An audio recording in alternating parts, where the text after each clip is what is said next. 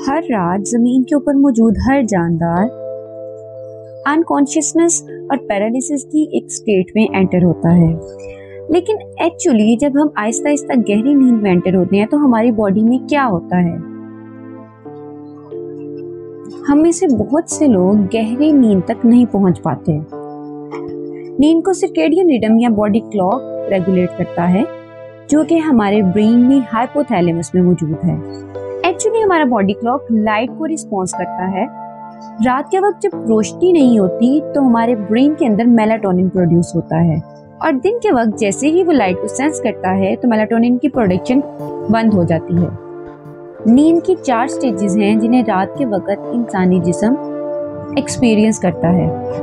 अच्छी नींद के दौरान हम पहली तीन स्टेजेस में से चार से पाँच दफ़ा गुजरते हैं। स्टेज वन और टू को लाइट स्लीप कहते हैं। ये वो ट्रांजिशन है जिससे जागते हुए हम नींद की कैफियत में दाखिल होते हैं। इस दौरान हार्ट रेट और ब्रीथिंग कम हो जाती है बॉडी का टेम्परेचर कम हो जाता है मसल्स ट्विच हो जाते हैं। स्टेज थ्री को डेल्टा स्टीप कहते हैं, क्योंकि ये डेल्टा वेव्स को स्लो डाउन करता है, जो कि ब्रेन रिलीज़ कर रहा है।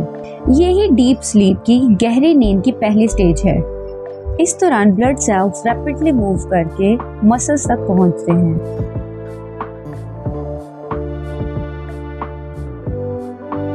और स्टेज फोर में हम ख्वाब देखना शुरू हो जाते हैं। इस दौरान हमारी बॉडी ऐसे केमिकल्स रिलीज़ करती है, जो इसको टेम्परेरीली पैरालाइज कर देती है।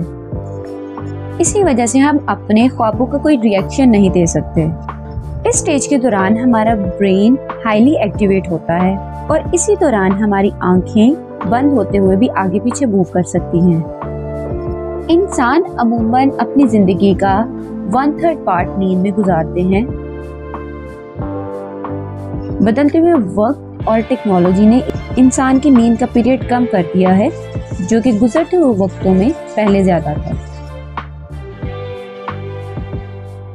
अगर हम रोज़ाना सात घंटे से कम सोते हैं तो इसकी वजह से हमारी बॉडी में कुछ क्रॉनिक कंडीशंस पैदा हो जाती हैं, जिससे हमारी लाइफ शॉर्ट हो सकती है। लंबी और तंदुरुस्त ज़िंदगी गुजारने के लिए प्रॉपर नींद लें।